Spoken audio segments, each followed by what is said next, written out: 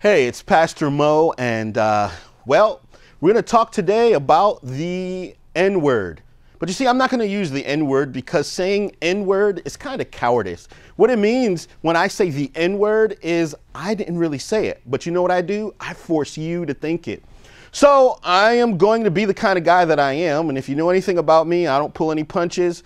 And I'm not afraid to talk about the tough issues. Today, we're talking about the word nigger. And we're talking about the impact that the word nigger has. More specifically, we're going to discuss why it is different, not okay, but different when a black person uses the word nigger versus when a white person uses the word nigger. Now, we could have titled this something different, but I just wanted to get to the point. A lot of people have asked this question. Usually, white people ask this question Hey, Pastor Moe, why is it okay for black people to use this term and not okay for white people to use this term. Let me first of all clarify my perspective is it's not okay for anybody to use that term. It's a derogatory term. And like any epithet, it's not something that you want to say towards another human being. I was raised a certain way, so I don't use that word. I also don't use any of the other colorful phrases that are used towards any other ethnic group. I don't like to use any of those kind of profane words. Yes, I count it as profanity. So I, I, I, stay away from that. And actually, the people that I know of any color, they generally don't use that term either. So the question becomes why is this so commonplace today? And a lot of that just has to do with our culture and just the way that things are going. But Hollywood and uh, the music business definitely helps to perpetrate this. And you hear so and so rapper, every other word out of their mouth is nigger this, nigger that, nigger this, nigger that. And so if you listen to that type of music, then it's kind of hard to not listen to it and say what they're saying. If you say the chorus, it's in the chorus. If you say the verse, it's in the verse. Does that make it okay? No, it doesn't make it okay, but there is a difference. Now, I've heard people try and explain this difference in several ways. I heard some people say, well, the difference is nigga versus nigger. You see, black people say nigga with an A, and white people say nigger with an ER. Guys, the difference is not spelling. It's still the same word, it still has the same meaning behind it. So, not a cool thing to say to anybody. I've heard some people say, well, it's kind of like anything else. You, you, if you have a brother uh, and another brother, and, and, and when I say brother, I don't mean brother, I mean brother, siblings, maybe it's brother and sister. They're having an argument back and forth.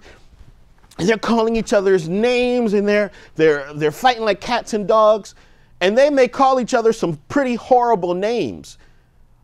However, they kiss and make up and it's okay. Now, let someone in the street an outsider, someone not a part of the family, say the same thing to them. Oh, now it's not okay. Now you've got to deal with both the brothers or the brother and the sister. You got to deal with the whole family because you have no right as an outsider to use that term monology with them or reference to them, calling them outside of their name, as people like to say. Well, eh, kind of. I, can go with that a little bit, but the, the truth of the matter is, it's no less disrespectful if I call my sibling a name than if you call them a name. It's still disrespectful.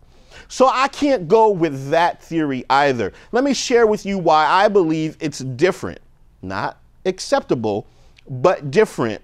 When a black person calls someone else, whether they're black or white, a nigger, versus a white person calling them. Let's give the example a person is walking down the street and they're in a neighborhood, they go into a grocery store and there's a group of black people there, and this person walking is a white person. And the person walks and the group of black people say to him, Hey, get away from around here. We don't want you around here. We don't want your kind around here, you nigger.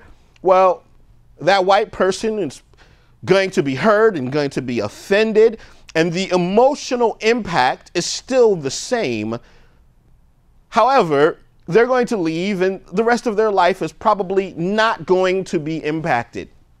Same situation reversed. A group of white guys are standing around and a black person comes along and they say, Hey, we don't want your kind around here. Get away from around here, you nigger. Well, then there's that emotional impact and these kinds of things. However, here's the difference, and, and this is the core of why the word nigger is a problem. It's not the word nigger, and it's not even the power behind the word nigger or the emotion or the sentiment. It is the impact that the individual has who says it.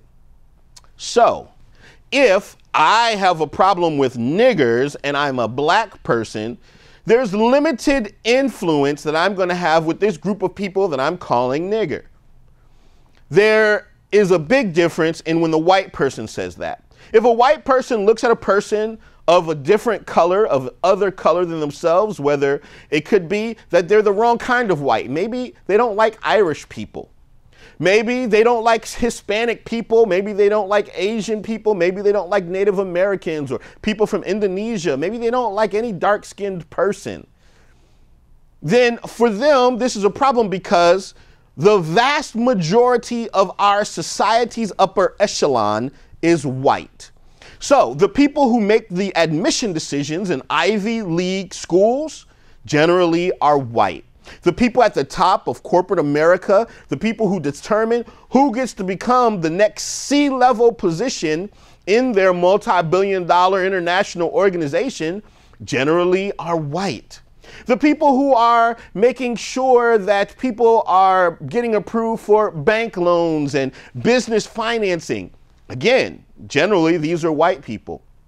You see, if a white person runs across a racist black person, they could go their entire life and not be affected at all. However, run across a racist white person, and that person of color could find themselves running into walls or glass ceilings in many different areas of their life, from judges to police officers, to uh, educators, to admissions people, to loan officers. Again, at, as you get more and more to the top of our society, it begins to get more and more male and it begins to get more and more white. This is just a fact of our culture. Now, is every white person bad? Is every person uh, who is white racist? No. Is a racist white person any worse than a racist black person? No. But the impact, the potential and the realized impact of a white person who sees color before they see character has a lot more impact on the lives of those that they despise than a person of color who is the same doesn't make it any better for a black person, a Hispanic person, an Asian person. It makes no difference. If you're racist, that's sinful according to the Bible. So it doesn't matter what your color is. But in this culture, in our society, as in every society, there is a caste system. And for us, the socioeconomic divide is generally wrapped around color. Now, you go to India where they've got multiple castes. It's not so much about color as it is about family background and these kinds of things, but they have the same issue. It's classism, it's elitism, it's sin. And the bottom line is the people at the top are not affected by it. My very first job interview, uh, we lived in, uh, moved to Florida. I just turned 16. A friend of mine worked at a country club, which was literally around the corner from my house. We lived, our, our house was inside of a golf course. And, and this whole place called Lakewood Estates in Florida, if you're familiar with St. Petersburg, this Lakewood Estates area was all houses. Now, it sounds fancy, it sounds great, but the bottom line is the average price of the house then in the 80s was only $30,000. We're not talking mansions. It was a three bedroom home. And uh, so the mortgage on that was what, 300 bucks? Okay, so my mother being a nurse, it wasn't a big deal. Don't start thinking, oh, he grew up in a silver spoon and he grew up on the golf course. No. But this was often the impression that people had who were of a lesser income. The point of the fact is that this was right around the corner. I walk in for my first job interview. In fact, I had on a shirt and a tie and a suit because I had taken BCE, Business Cooperative Education. I had a resume in my hand. I was ready for the interview. I had my questions down on where I wanted to be in five years and why I should get the job and all these wonderful things. And I walk in and I walked into the uh, I, the lounge area and uh, uh, and I couldn't see where to go and I'm looking around and this young lady walks past me and she looks at me excuse me can I help you? Uh, yes I'm here to apply for a job. Oh the kitchen is back that way.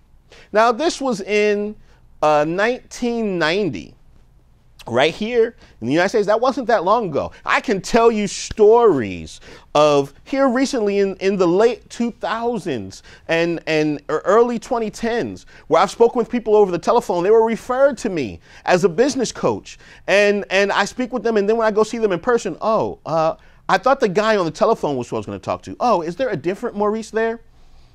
You see, racism is all a part of it. I can assure you that I've lost business simply because of my colors, very, very clear that that was the reason why, because they were all for it until they saw my face.